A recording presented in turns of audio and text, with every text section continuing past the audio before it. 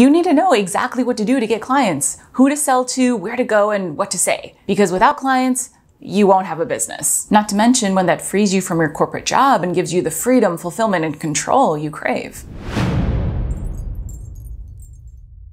Hi, I'm Luisa Zhou, and this channel is all about actionable business advice so you can build your own profitable business and go from employee to entrepreneur and beyond. Because I truly believe anyone can build a business if you're willing to do the work. Let's start with the first part of the sentence.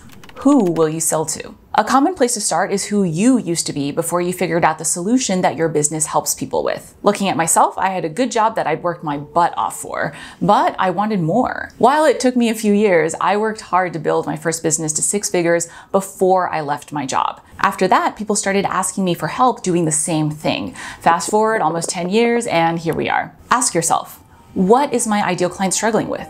Who are they? What characteristics define them? And what do they ultimately want that I can help with? Because if you don't know who your clients are, you won't be able to connect with them in a way that appeals to them. And as a result, they won't be interested in buying from you. But just knowing who your customer is isn't enough. How will you find your customers so they know your business even exists? No one wants to waste time or effort struggling to find clients. In order to find lots of new customers with the least amount of work, here's one of my favorite strategies. Think about it like this. If you had to give news to everyone in your neighborhood, how would you do it? Would you go from door to door for every single person? Or would you go to the next neighborhood association meeting or neighborhood party where everyone is gathered so that you can reach as many people at once as possible? The same idea applies to business. You could try and reach one person at a time by building your own social media account, for example, but one of the fastest ways to start getting clients is by figuring out these gathering places your ideal clients go to online. I'm talking about podcasts, publications, forums, online groups, or other other businesses that provide complementary services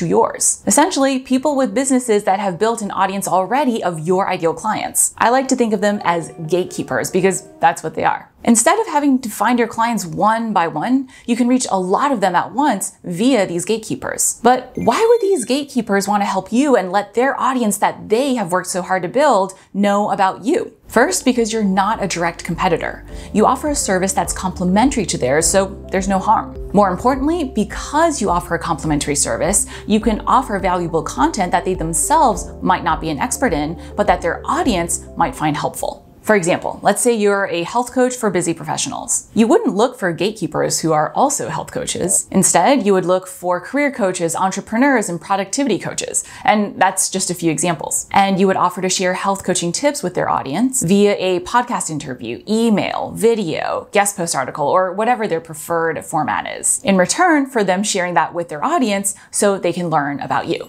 And if you're wondering how to find these gatekeepers, I like to use good old Google. But if you need some help or don't have the time, here's what I recommend. There are a lot of people you can hire on platforms like Upwork and Fiverr who are very good at doing this type of research for you. Plus, they're fast and have very reasonable rates. Either way, you now know how to find your ideal clients, so high five on that. But knowing where to find your ideal clients is not enough. Because if you're not sharing a message that your ideal clients care about, it doesn't matter how many of them know about you, they still won't be interested. The key is to make sure what you have to say will actually resonate with your ideal clients. Time for an unwisdom alert. You may have even experienced two common mistakes that waste your time and prevent you from making progress in your business. And they are this wrong advice. If you're sharing purely motivational or feel good content, Sure, that feels good, and people may even like it.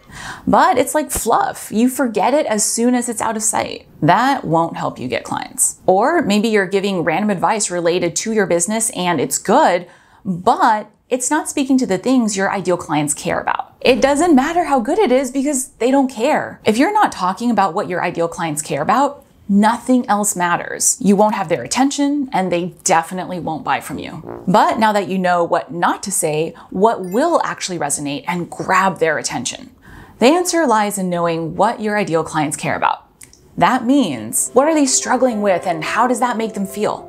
What do they want? What do they think their obstacles are to getting it, and how can you help them overcome those obstacles? That's what you want to talk about. And anything you say, whether it's introducing yourself or sharing how you can help your ideal clients or sharing your experience, should relate back to it. If you need, you can always refer back to this video as an example of how to do this. But how do you bring it together into that one sentence plan that I promised? We're gonna get to that in just one second. But first, let's talk about how often to use this plan. To not get overwhelmed worrying about how often you have to do your marketing so you can focus on getting out there and getting found by your ideal clients, follow this marketing plan every day, at least every weekday.